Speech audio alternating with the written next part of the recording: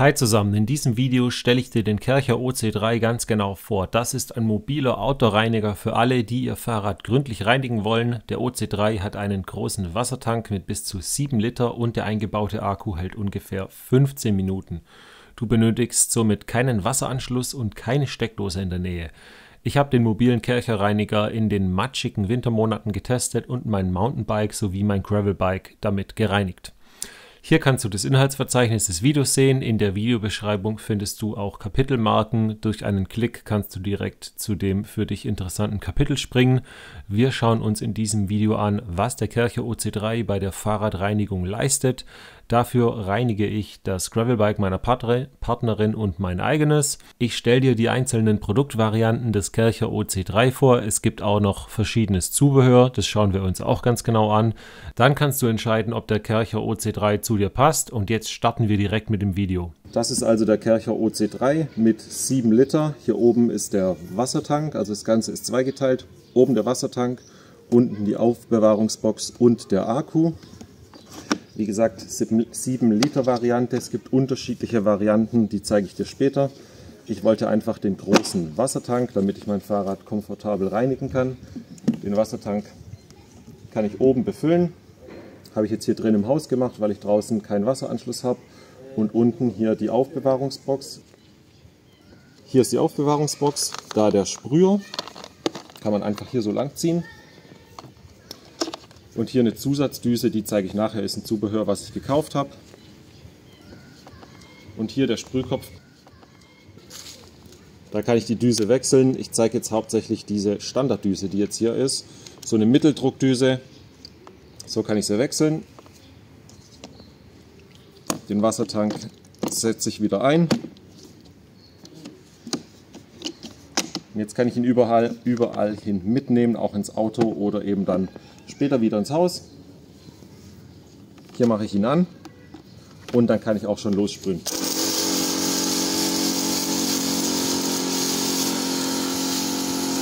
Jetzt, bevor ich dir die Fahrradreinigung zeige, lass uns einen Blick auf die unterschiedlichen Ausstattungsvarianten beim Kercher OC3 werfen. Auf den ersten Blick ist es nämlich etwas verwirrend. Also der OC3, das ist der Kercherreiniger für Unabhängige und er ist geeignet für kleine, empfindliche bis größere, robust, robuste Reinigungsobjekte.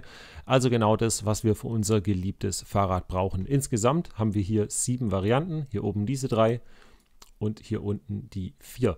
Ja, auf den ersten Blick, wie gesagt, etwas verwirrend, aber eigentlich ganz logisch. Also im Wesentlichen sind es hier diese zwei Produkte.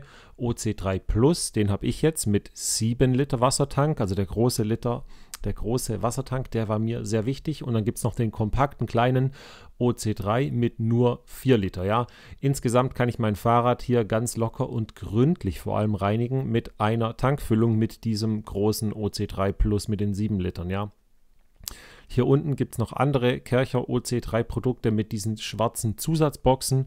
Du hast einfach diese schwarze Zusatzbox unten, die du dann ranklipsen kannst. Und da ist dann eben spezielles Zusatzequipment enthalten. Schauen wir uns gleich an. Hier den OC3 Foldable, der ist so ein bisschen ein Sonderling, sage ich, eine Spezialvariante, einfach wenn es sehr, sehr kompakt, wenn der sehr kompakt verstaut werden soll, ja. Was sind die Gemeinsamkeiten? Gemeinsamkeiten sind die Akkulaufzeit von 15 Minuten und ja, dieser, diese Sprühdüse hat einen 2,8 Meter langen Schlauch, also ist wirklich sehr, sehr lang und hier kann man wirklich komfortabel arbeiten. Der OC3 Foldable, der ist ein bisschen anders, der hat einen kürzeren Schlauch, nur 1,8 Meter und hat 8 Liter Volumen. Ja, also auch ein bisschen anders. Was ich richtig cool finde an den OC3-Produkten, dass man sich ja dieses Ladegerät zum Beispiel, Kfz-Ladegerät oder auch die schwarze Adventure, diese schwarze Zubehörbox und das ganze Zubehör, was du hier siehst, dass man sich das auch nachträglich noch als Zubehör kaufen kann. Ja, also jetzt ganz schnell noch einen Blick auf das Car-Produkt hier zum Beispiel. Beim Car-Produkt hier siehst du, hast du ein Kfz, ja ein Ladegerät mit Kfz-Anschluss. Dann der OC3 Plus, den ich jetzt hier habe. Wie gesagt, ich habe ihn mir gekauft wegen dem großen Wassertank. Kein Zubehör, aber eben großer Wassertank. Zubehörbox kann ich mir aber wie gesagt auch jederzeit noch nachkaufen. Dann der kleine OC3, der ganz normale mit kleinem kompakten 4 Liter Wassertank. Dann die Adventure Box. Wie gesagt, jetzt kommen wir zu den Zubehörboxen. Da ist diese schwarze Box eben dabei mit noch Adventure in Anführungszeichen Zubehör mit dieser Bürste zum Beispiel und noch einem zusätzlichen Schlauch. Dann die Bikebox eben mit Fahrradreinigungszubehör, was es hier eben noch gibt. Dann die Tierbox noch mit einer Bürste und mit diesem Zerstäuber. Den habe ich auch noch zusätzlich als Zubehör gekauft. Zeige ich dir auch nachher im Video und noch einem anderen Tuch. Und dann das Foldable-Produkt zum Zusammenfalten, zum Beispiel für den Wohnwagen. Direkt unter dem Video in der Videobeschreibung, da habe ich dir die OC3-Produkte auch verlinkt. Also wenn du dir den Outdoor-Reiniger kaufen möchtest, dann schau dir die Links mal an. Das sind Partnerlinks. Für dich kostet es nicht mehr und mit einem Kauf unterstützt du mich und meinen Kanal. Vielen Dank. Und jetzt lass uns das Fahrrad auch richtig sauber machen. Lass uns jetzt also das Gravelbike vom Schmutz befreien, damit es wieder sauber ist und strahlt. Zuerst mal hier zur Ausgangslage. Du siehst die Gravelbikes von meiner Partnerin und mir. Wir waren gestern auf einer Tour und ja, waren da auch im Wald unterwegs. Es war ziemlich, ziemlich matschig und der Schmutz ist jetzt einen Tag später eben sehr fest am Fahrrad dran gekrustet und auch getrocknet. Und jetzt schauen wir einfach mal, was der Kercher hier leistet. Ich starte also mit meinem Gravelbike und du siehst am Unterrohr, der Schmutz wird wirklich effektiv entfernt. Der hat keine Chance, obwohl er wirklich fest gekrustet ist. Jetzt dann auch noch hier die Bikepacking-Tasche sauber machen. Unterrohr und Kettenblatt auch nochmal säubern. Und weiter geht es auch zur Gabel und zu den Reifen. Die werden auch schön sauber gemacht. Einfach hier schön rumgehen. Und ja, wie gesagt, der Schmutz hat wirklich keine Chance.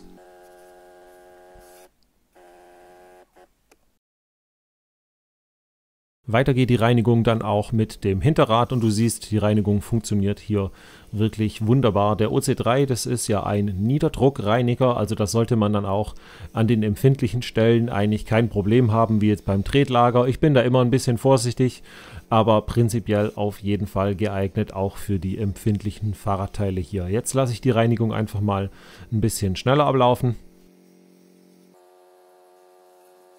Auf einer Seite habe ich das Rad also schon richtig gut von Dreck befreit. Und der Wassertank, du siehst, sieben Liter gehen insgesamt rein und ich habe noch gut die Hälfte. Also das Wasser ist genau hier. Habe also noch wirklich gut die Hälfte vom Wasser übrig.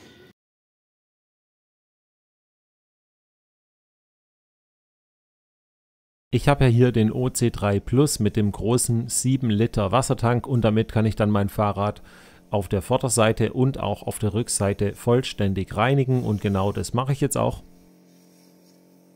Der Motor des OC3, der macht natürlich auch Geräusche, aber insgesamt hält sich der Geräuschpegel vollkommen in Grenzen. Ich hatte das Geräusch jetzt etwas hier runtergepegelt im Video, weil im Video wird es einfach nerven, aber in Wirklichkeit, wie gesagt, ist es voll in Ordnung. Mein Fahrrad habe ich hier an einem Sonntagnachmittag sauber gemacht und die Nachbarn fühlten sich jetzt hier nicht gestört. Also ja, alles im grünen Bereich, wie gesagt. Trotzdem einfach, dass du mal einen Eindruck bekommst, spiele ich dir das Geräusch jetzt hier mal mit voller Lautstärke ein. Also ich lasse es jetzt hier von diesem runtergepegelten Level einfach mal auf volle Lautstärke hochlaufen. Also nicht erschrecken, wenn es jetzt etwas lauter wird im Video.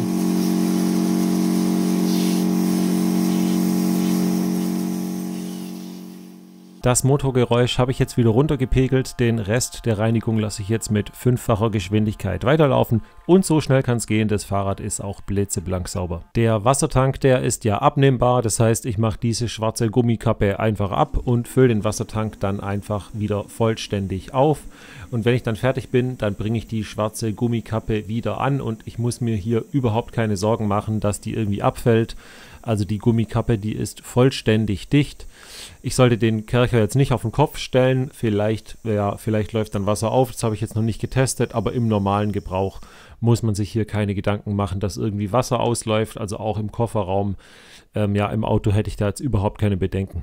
Das zweite Gravelbike habe ich dann auch, auch vollständig gereinigt auf der Vorderseite, auf der Hinterseite wirklich gründlich und du siehst, von den 7 Liter ist vielleicht noch ein Liter ungefähr übrig und das Fahrrad erstrahlt wieder in neuem Glanz. Also so kann man sich mit seinem geliebten Gravelbike wirklich wieder sehen lassen. Natürlich kann man den OC3 auch für andere Einsatzzwecke einsetzen. Also hier die Stiefel, die ich auch beim Radfahren anhatte, die sind total verdreckt und die kann ich jetzt ganz komfortabel und schnell draußen vor der Wohnung im Garten reinigen.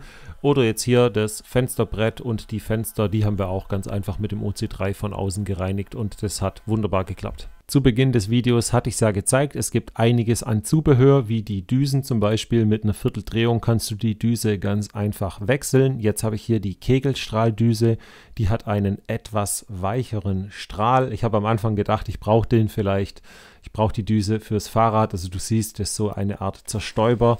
Das ist die Düse, die ist ja auch bei dieser Pet-Box, also bei der Tierbox dabei. Und hier der Unterschied, das ist die Standard-Flachstrahldüse. Die hat etwas mehr Druck. Und ich muss auch sagen, den Druck, den braucht man auf jeden Fall auch, um das Fahrrad effektiv zu reinigen. Also ich benutze einfach immer die Standard-Flachstrahldüse und finde die auch sehr, sehr gut. Wie fällt mein Fazit zum Kercher Outdoor-Reiniger aus? In den Wintermonaten und im Frühling durch das matschige Wetter war mein Fahrrad oft stark verschmutzt. Ich besitze in meiner Wohnung keinen Gartenschlauch im Außenbereich und für die Fahrradreinigung ist der Kercher Gold wert. Auch vom groben Schmutz kann ich mein Fahrrad mit dem Kercher OC3 befreien. Die Reinigung funktioniert wirklich super. Wie schon erwähnt, habe ich dir im Video die Variante Kercher OC3 Plus mit dem großen 7 Liter Wassertank gezeigt. Die Variante würde ich auch empfehlen, denn für die gründliche Fahrradreinigung wird beinahe der komplette Wassertank benötigt. Die kleinere Variante Kercher OC3 ohne Plus im Namen wäre mir persönlich zu wenig, aber für den mobilen Anwendungszweck zum Beispiel unterwegs im Auto kann der kleine Kercher auch ausreichen. In der Videobeschreibung unter dem Video habe ich dir die Kercher Autoreiniger aus der OC3 Serie verlinkt. Über die Links kannst du dir den Kercher direkt kaufen. Das sind Partnerlinks. Mit einem Kauf unterstützt du mich und meinen Kanal und für dich kostet der Kauf natürlich keinen Cent zusätzlich. In der Videobeschreibung findest du auch einen Link zu meinem ausführlichen Blogpost zum Kercher OC3 mit vielen detaillierten Fotos. Auf meinem Blog bikepacking-adventures.com kannst du also alle Details zum Kercher OC3 nochmal in Ruhe nachlesen. Der Wasserdeckel muss gründlich zugedrückt werden, dann hält der Deckel vollständig dicht und es schwappt auch kein Wasser über. Nochmal kurz meine Gedanken zur Fahrradreinigung und welches Vorgehen sich bei mir bewährt hat. Den groben Dreck beseitige ich mit dem Kercher Autoreiniger. Dann besprühe ich mein Rad mit einem Fahrradreiniger, wie zum Beispiel Mac-Off Fahrradreiniger. Damit habe ich sehr gute Erfahrungen gemacht, aber andere Produkte sind natürlich ähnlich gut. Nachdem der Reiniger circa 5 Minuten eingewirkt ist, sprühe ich das Rad gründlich mit dem Kercher ab. Anschließend trockne ich das Rad mit einem Mikrofasertuch, damit sich kein Rost bildet und ich keine Wasserflecken auf dem Rahmen habe. Wie gehst du bei der Fahrradreinigung vor? Hast du Fragen zum Kercher OC3 Outdoor Reiniger? Schreib mir einfach deinen Kommentar und ich antworte gerne. Und jetzt wünsche ich dir viel Spaß beim Fahrradfahren mit endlich sauberem Fahrrad.